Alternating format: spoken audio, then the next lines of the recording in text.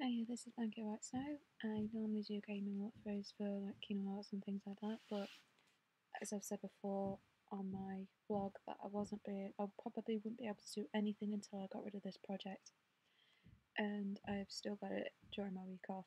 Unfortunately, boohoo. So I might as well just show you what I'm actually doing for anybody who's interested in 3D, and uh, it's just a simple little tutorial. It's just creating water running from a tap. Well, I made the tap from my city, my, my designer city brief, and all I've done to sort of extend it is making the water run from it. And it's a quite a simple tutorial to do, so without further ado, I will show you how I did it. So go into Cinema 4D, any Cinema 4D that you have, I've got R13, so it should work for pretty much every single Cinema 4D there is. And to start off, we need to go to Simulate Particles Emitter and rotate the emitter 90 degrees this way. There we go. And from there, create a sphere with the radius at 10. Needs to be pretty small. And sphere as a child in the emitter. And under the emitter go to particle check the show objects and change the birth rate to I might as well change it back to the thing that I was doing before which was 50 for both for the birth rate editor and the birth rate renderer. So when you play it you should really come up with something like this don't worry, this isn't what I was. This isn't the final product because that would be really shit waters. To be quite honest. So, what I've had to do after that, I did. I went under the little sort of blocks here. I went under metaball, and I add the emitter to the metaball, and under the metaball object, under metaball, when you clicked on it, go to object and this is what you need, the editor subdivision, and change it from 40 to 5, or anything lower than that. Uh, it's really up to you, but I choose 5 because it keeps it sort of keeps its firmness, but it also softens the the look of it. So under, after that, it should like sort of run, but that still doesn't look right. So what you had to do that, what I had to do then was go back into simulate and go to the particles and to gravity. There we go, and it flows absolutely brilliantly, as I do say myself. So the gravity, basically the reason for gravity is to make the wa make it to actually flow like water. So when I rotate these, when I rotate the metaball and the objects in inside the metaball, when I rotate it downwards, like you should do for the tap, it will flow really nicely. Which, if I lift this up, come on, there we go. Give it a minute, it's trying to keep up with me. There we go. Still, we can't really see the full sort of finished product, so what I do, go under Window to Content Browser, and you should have a folder in this content browser as it already came in Cinema 4D.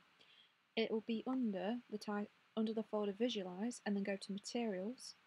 And under the materials there should be a folder that says liquid. So when you click on liquid, you've got all these little liquid materials, possibly for everything that you could probably want. From motor oil to milk, coffee, orange juice, you know, stuff and red wine and things like that. But we don't need that sort of thing. We don't want red wine, water, or anything. So we just want liquid and water calm. Or it depends on what sort of water you want. If you want it to be rough, like a waterfall, my best, the best suggestion I could give to you would be that one on the far end, water turbulent. It gives it a very good rough, a rough look, like how waterfall should look but I'm not using it for a waterfall, I'm using it for a tap for my uh, city waterfall. So, oops, there we go. double click onto the material and it will sh it should appear onto your little tab down here and click out of that. Click out of that and just drag the material. Oops. There we go. Drag the material onto the metaball object. So when you render it off,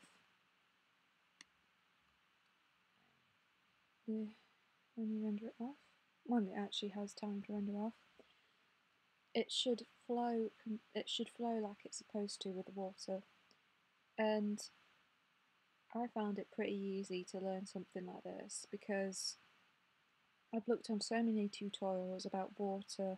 I've got water that flows, that sort of waves like it should do if it's in an ob it's if it's like in a bowl or something and you've got ripples I can learn, I've, I've learned that for my city, but I also need it to run. So I found this tutorial and I'm pretty pretty quick at learning, so I thought showing it to you guys.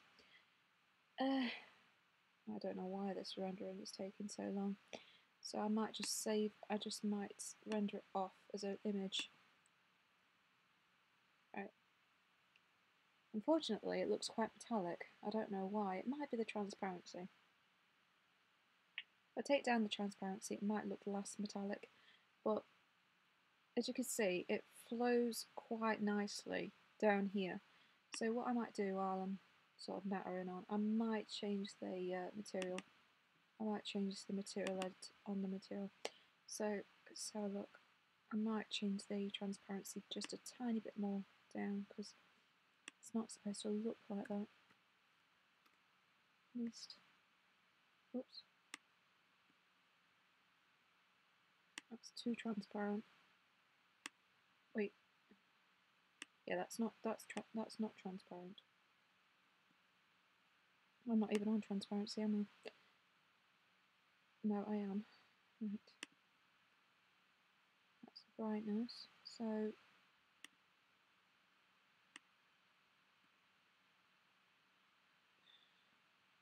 I'll stick it at 70 and see what happens. If it's still not done what I want it to do, then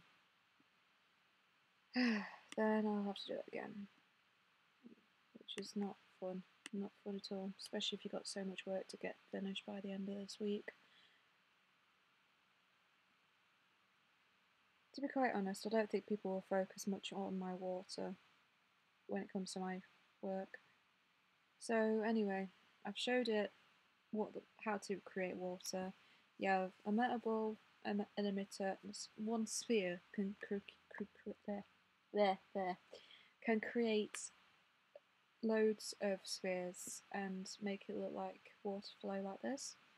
So what I did after that, of course, I added it to my tap. Oh, now you render.